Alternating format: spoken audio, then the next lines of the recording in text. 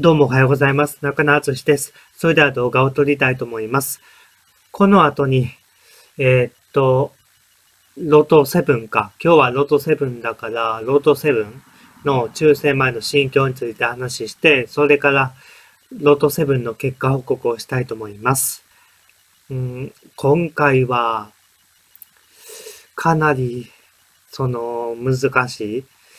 前回が、ものすっごい荒れ替えだったから、うん、今回は一等当選者出るかな、うん、それぐらい、その、うん、当選するのが難しい。当選できたら本当にすごい、今回。それぐらい、うん、今回のロト7は難しいから、5口でも当選するのは難しいに違うかな、今回は。僕は二口しか予想してないからなおさら難しい。うん、当選できたらラッキーぐらいな感じかな。うん、一応頑張って予想はしたけど、それでもなかなか、えー、難しかった。一番難しかったん違うかな。その僕が、そのロト7予想し始めてから、うん。多分一番大変だった、今回が。だから、当選できたら本当にすごいと思う。うん、それぐらい難しかった。何個一致できるかわからんけど、この前が1個、1個しか一致できなかったから、今回何個一致できるかな。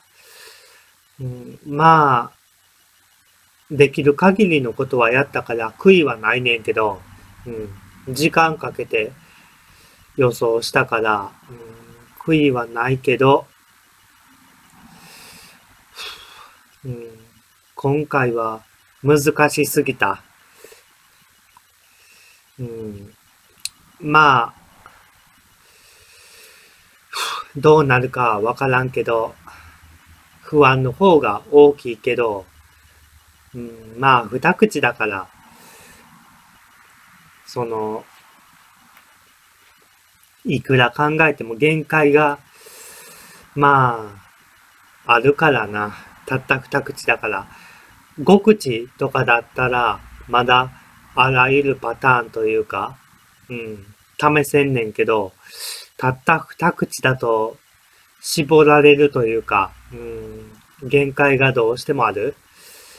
まあ、僕はそれを分かりきってしてるから、もう割り切って、うん、継続して二口で予想し続けたいと思います。